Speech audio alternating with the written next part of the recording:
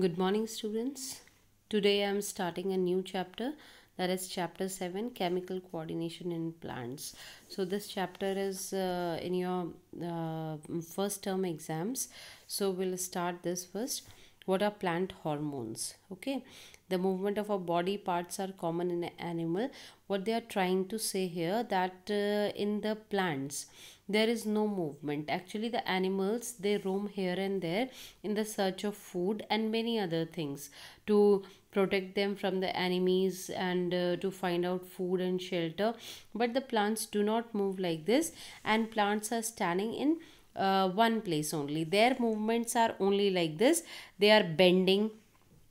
twisting elongation for certain parts मतलब इसमें कुछ कुछ पार्ट्स क्या होते हैं? बड़े हो रहे हैं या वो ट्विस्ट हो जाते हैं या बेंड हो जाते हैं okay so only this type of movements are shown by the plant so the movements are cause due to the changes in the external as well as the internal factors of a plant तो plant के जो internal या external कोई भी फैक्टर हो सकता है। So these are the factors which due to which the plant changes and such changes I the in a external और internal environment of an organism is called are called stimulus so this is stimuli stimuli means uh, if there is any of the thing which is affecting the plant from outside it is called stimulus okay stimulus का मतलब होता है कि बाहर से कोई भी एक ऐसी चीज़ है जो कि अगर आपको टच होने के बाद या उससे आपकी बॉडी में कोई ना कोई रिस्पॉन्स प्रोड्यूस हो रहा है तो that is called stimulus okay uh, and the resulting action or the movement caused by the stimulus is called a response so these are the two things stimulus and responses stimulus means uh, i have again um, i'm telling you that if uh, a pin pricks your hand अगर आपके हाथ पे कोई सुई लग जाए pin लग जाए तो यहाँ पर सुई क्या होगी that will be the stimulus okay and what will be your response your response is you will remove your hand from there right? So uh, this is the stimulus and the response. Similarly there are stimuli and the response in the plant also. So for a plant what will act as a stimuli? There will be sunlight water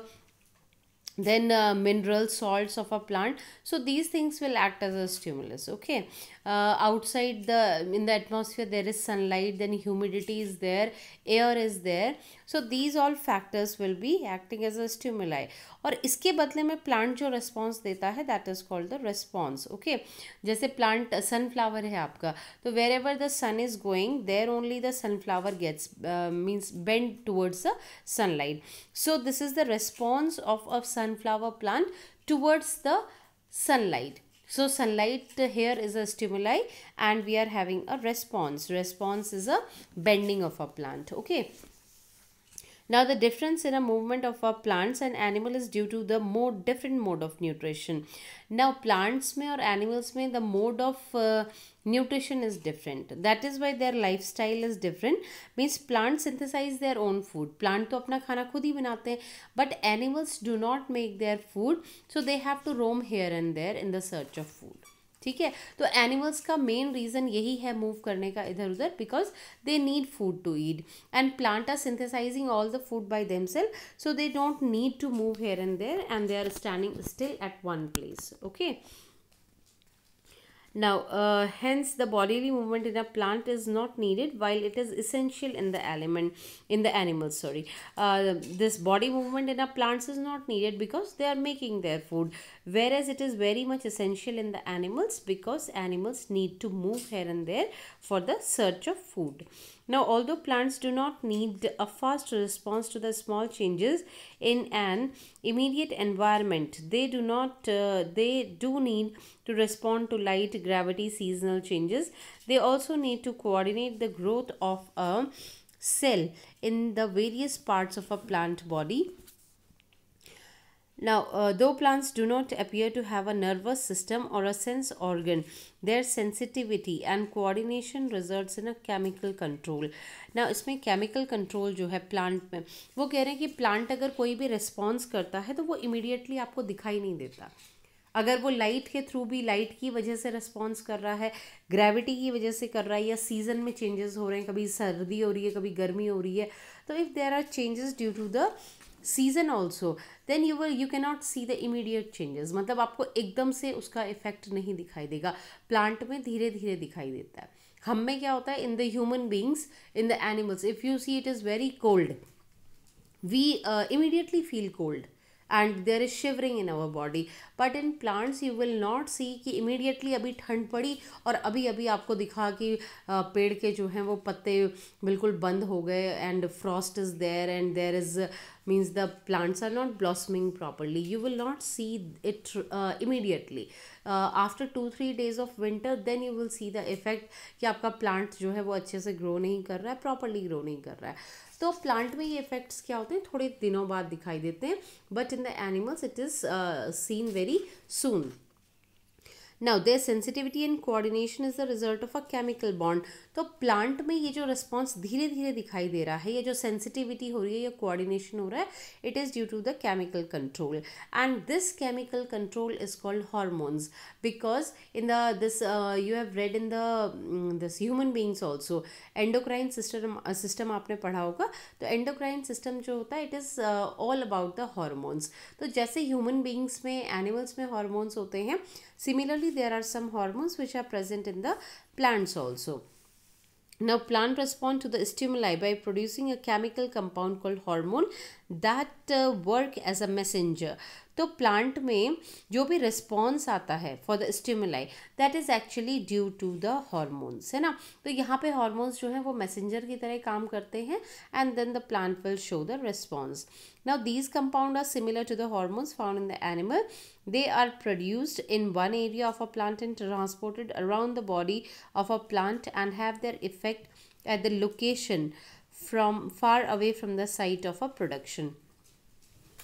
again you know that in uh, animals also there are so many hormones right then hormones do not work at that particular place where they are released they move from one place to another means their uh, site of production is different and site of action is different site of production मतलब वो कहाँ पे produce हो रहे हैं तो hormones में क्या होता है कि जहाँ पर वो प्रोड्यूस होते हैं they do not work there in fact they go away from that area and they will travel somewhere else in a plant only plant body और द एनिमल बॉडी और ये कहीं दूर जाके आके क्या करेंगे? अपना एक्शन करेंगे ओके तो the site of action and production are different and this happens both in plants and animals that wherever the hormone is produced it will not work there it will go to the और it will be transported to some other place for its production for its work okay now the main way in which the plant respond to these hormones is by the growth in some cases the growth is stimulated while in others it is inhibited now सबसे बड़ी चीज़ है जो plant में आपको रोज़ और आराम से दिख सकती है, वो ये है कि प्लांट क्या कर रहा है? Every day the plant is growing the growth of a plant is also due to the hormones of a plant uh, this can be these hormones can increase the growth also and it can decrease also okay so ये enhance भी करता है और क्या करता है inhibit भी करता है enhance करना मतलब बढ़ाना growth को बढ़ाना inhibit करना मतलब रोकना तो hormones क्या होते हैं दोनों टाइप के हो सकते हैं मतलब उसका negative effect भी हो सकता है positive भी हो सकता है Now, uh, sometimes one side of a plant grows more than the other which results in a bending of a shoot or a root in response to a particular stimulus. तो कभी कभी क्या होता है कि जो आपका वो होता है प्लांट उसमें एक साइड में क्या होता है कि due to the grows more then the other side मतलब वो एक साइड से ज़्यादा क्या हो रही है उसकी दूसरी साइड ग्रो कर रही है ओके okay? तो दूसरी साइड ग्रो कर रही है तो क्या होगा उससे बेंडिंग हो जाएगी मतलब अगर एक स्टेम है स्टेम के दो मतलब इधर उधर पूरा सर्कुलर है वो। तो सर्कुलर है तो अगर उसका एक पार्ट जो है if I draw it here only I draw it here okay this one this is a plant है ना? ये आपका सीधा ग्रो कर रहा है। लेकिन अगर मान लो इधर की साइड ग्रोथ ज़्यादा हो रही है, ये ज़्यादा हो गया तो ये ज़्यादा हो गया एडजस्ट कहाँ होगा? ये फिर बेंड हो जाएगा इधर को, ठीक है? तो this is called the bending तो वो कह रहे हैं कि अगर इफ़ आपका एक साइड में क्या हो रहा है कि हॉर्मोन्स ज़्यादा प्रोड्यूस हो रहे हैं और इससे ज़्यादा ग्रोथ हो रही है और यहाँ पर कम हो रही है इधर की साइड तो ये वाला पोर्शन क्या करता है? बेंड करना शुरू कर देता है right now in response to a particular stimuli. Now the main area of a growth cell division uh, okay this you know कि आपके जो सबसे सेंसिटिव एरियाज़ होते हैं प्लांट में वो कौन से होते हैं? शूट हो गया आपका tip of the shoot and the root है ना? जहाँ पे रूट का बिल्कुल टिप होगा और शूट का टिप होगा तो वहाँ पर सबसे ज़्यादा आपकी ग्रोथ होती है। Now the meristematics are sensitive to the hormones meristematic मतलब जो आपके सेल्स होते हैं which are present at the tip of a root and shoot they are most sensitive to the hormones the hormone help to stretch the cellulose wall of the meristematic cells to facilitate division तो आपके hormones का main काम ये होता है कि cellulose wall को क्या करते हैं? स्ट्रेच करते हैं, जिससे कि सेल डिविजन जो है वो ईजिली हो जाए। Cell division I think you know if you are studying you have gone through if mitosis you might be knowing cell division कैसे होता है in a plant cell okay ना plant response in a variety of stimulus तो plant जो है, बहुत सारी चीज़ों के लिए रिस्पॉन्स करता है। It is sensitive to light plant response to the direction from where the light comes फिर लाइट के ही लिए नहीं कर रहा है, वो रिस्पॉन्ड वो रिस्पॉन्ड इसके लिए भी कर रहा है कि लाइट किधर से आ रही है। है ना? तो जिधर को लाइट आती है, आपने अगर एक्सपेरिमेंट देखा होगा तो आपका प्लांट जो है it is moving to that way only if you have kept a plant in a room and अगर खिड़की से लाइट आ रही है तो the plant will move towards the window so that is the response of a plant then intensity कि कितनी तेज़ धूप है है ना? लाइट जो है, वो तेज़ है, हल्की है, कौन से कलर की है? Then length of a daily exposure फिर आपने दिन भर जो है वो कितनी देर तक प्लांट को एक्सपोज किया हुआ है? आप आधे घंटे प्लांट को धूप में रख रहे हैं, एक घंटे रख रहे हैं, पूरा दिन भर रख रहे हैं तो these are the things which affect the growth of a plant now they are also sensitive to water ऐसे ही वाटर हो गया टेम्परेचर हो गया ग्रेविटी हो गया, इसके लिए वो रिस्पॉन्स शो करते हैं. Now different parts of a same plant में रिएक्ट डिफरेंटली अब आपके प्लांट के सारे पार्ट्स एक जैसा रिस्पॉन्ड नहीं करेंगे. लाइक like सनलाइट है। तो सनलाइट में शूट क्या करता है? अलग रिस्पॉन्ड करता है। रूट अलग करती है now this is a plant ये आपका पेड़ है। तो पेड़ में ये आपका शूट है। And this is the root underground okay तो शूट क्या करता है? It will give you the positive response means it is going towards the sunlight है ना? तो ये पॉजिटिव रिस्पॉन्स हो गया। बट आपकी रूट क्या होती है? It is showing the negative response mean it is going against the sunlight sunlight नीचे तो होती नहीं है ज़मीन के तो वो उसके अगेंस्ट जा रही है। तो इसका मतलब आपके बॉडी के दो पार्ट्स जो हैं, वो सनलाइट के लिए अलग अलग रिस्पॉन्स कर रहे हैं। Right now they are responding differently to the sunlight now different parts of a same plan okay this I have done कि लाइट के लिए क्या करेंगे, वो अलग अलग रिस्पॉन्स करेंगे। Now the term hormone was first use by William Bayliss and Ernest Starling in 1902. Now the term uh, phyto phyto hormone phyto hormone का मतलब होता है फाइटो का मतलब होता है प्लांट और हार्मोन का मतलब होता है हार्मोन आपको पता ही है है ना? Was coin to distinguish from the animal hormone तो फाइटो हार्मोन नाम का मतलब ये फाइटो क्यों लगाया गया है इसके अंदर? जिससे कि आप एनिमल हार्मोन से उसको डिस्टिंग्विश कर पाएँ, ठीक है? This is the name they have given Ernest Starling in 1902 you have to remember this इन्होंने ये पहली बार हार्मोन वर्ड जो है ये यूज़ किया है and with him this William Bayliss इन दोनों लोगों ने ये टर्म यूज़ किया था पहली बार phyto hormone okay